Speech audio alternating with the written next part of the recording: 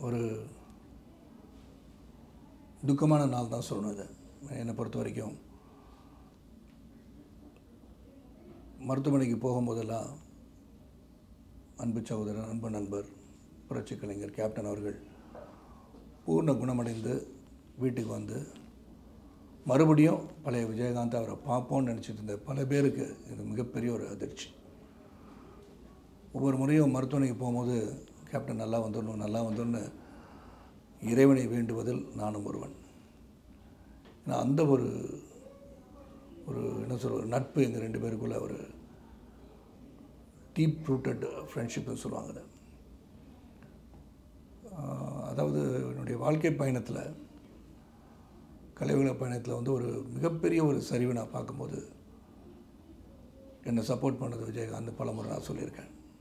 அவன் அலுவலகத்துக்கு போனது எனக்கு பசுமையாக எனக்கு ஞாபகம் இருக்குது புலனசாரணை படத்துக்காக அவருடைய மேக்கப் அண்ட் ராஜுவனை அவர்கிட்ட கூட்டு போனார்.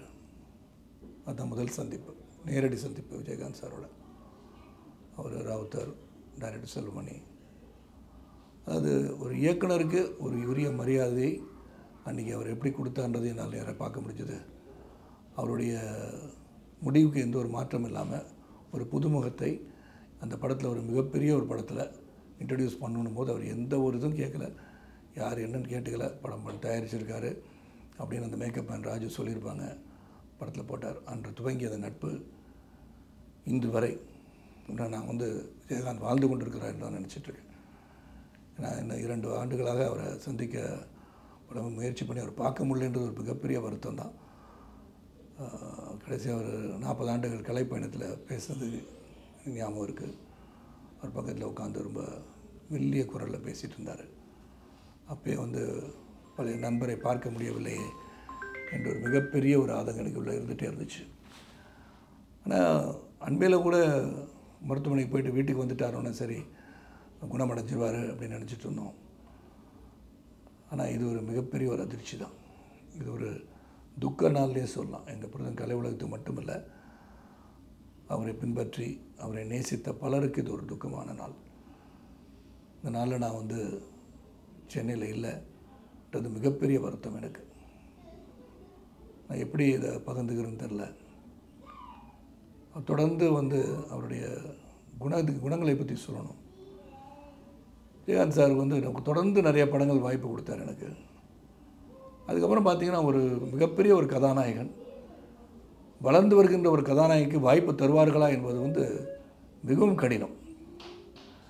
நான் அந்த ஒரு காலகட்டத்தில் என்ன தாய்மொழின்னு படத்தில் அவங்க பேனரில் அவருடைய பேனரில் ஒரு கதாநாயகனாக நான் நடிக்க வச்சு அதில் ஒரு கௌரவ வேடம் ஏற்று நடித்தவர் விஜயகாந்த் அவர்கள். அந்த அளவுக்கு டீப் ரூட்டட் ரிலேஷன்ஷிப் ஃப்ரெண்ட்ஷிப் அது அவ்வளோ ஒரு நட்பு எங்கள் ரெண்டு பேர் பக்கம்.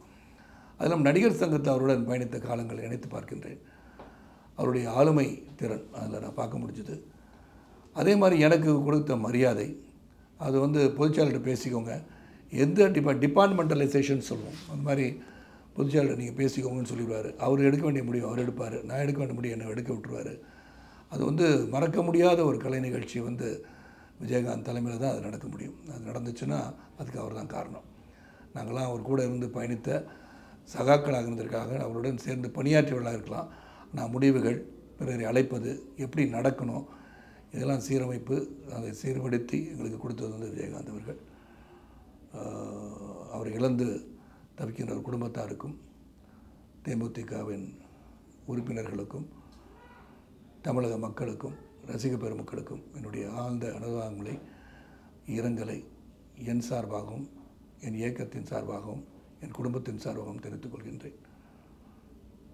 விஜயகாந்த் சார் நீங்கள் என்றும் அனைவரின் மனங்களில் வாழ்ந்து கொண்டே இருப்பீர்கள். நீங்கள் மறையவில்லை வாழ்ந்து கொண்டிருக்கிறீர்கள். எங்களை பார்த்து கொண்டிருக்கிறீர்கள் எடுத்துக்கொள்கின்றேன்.